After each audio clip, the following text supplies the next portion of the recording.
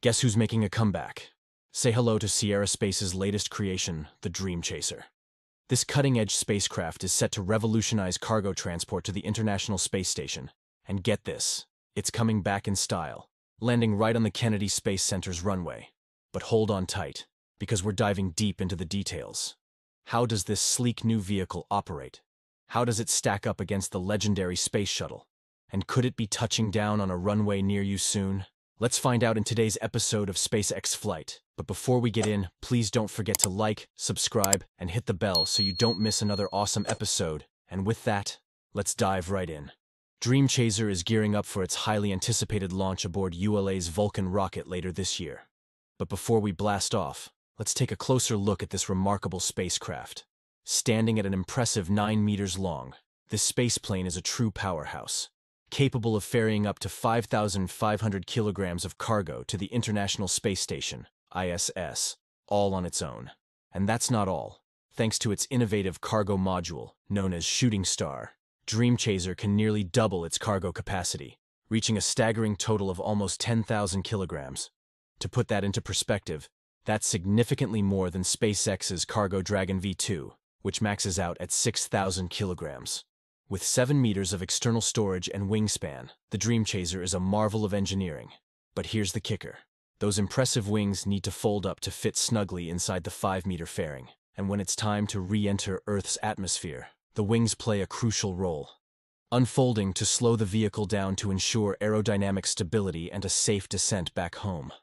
Not only can it gracefully return and touch down on a runway like an aeroplane, but it also has the incredible ability to bring back over 1,500 kilograms of precious research and sensitive cargo with it.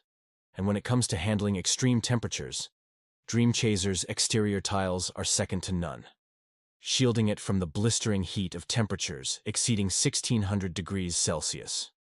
The 2000 heat shield tiles, crafted from silica, the primary component found in ordinary sand, are intricately woven into special fibers designed to endure the intense temperatures of re-entry into Earth's atmosphere. Another capability of Dream Chaser is to keep G-forces bearable. This is important because for many reasons, not limited to preserving astronauts' vitality. While conventional space capsules like the Crew Dragon subject astronauts and cargo to up to three times the force of Earth's gravity during re-entry, Sierra Space promises a more leisurely experience with Dream Chaser, capping acceleration at just 1.5 Gs allowing more sensitive cargo to be brought down from the ISS. Plans for expansion and growth are already in motion, with Vandenberg on the west coast and international locales like Japan being considered as potential launch and landing sites.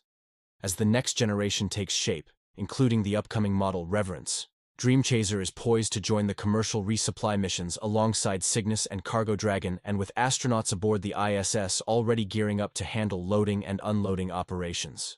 Dream Chaser has completed rigorous testing at NASA's colossal spacecraft shaker machine, replicating the intense vibrations of launch and re-entry. Next up, the spacecraft faces the challenge of NASA's mammoth indoor vacuum simulator, subjecting it to the extremes of space-like conditions, from wide temperature swings to low pressures. Pending successful completion of these critical tests, Dream Chaser is primed for its official launch and entry into service, slated for the first half of 2024.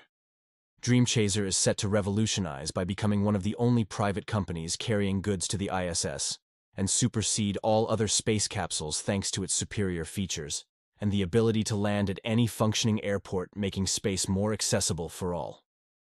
That's all for today's episode. We really hope you enjoyed it and learned something new. Please share your thoughts with us in the comment box below. We value your input, and it helps us create better videos for you. Thank you so much for watching, and we'll see you next time.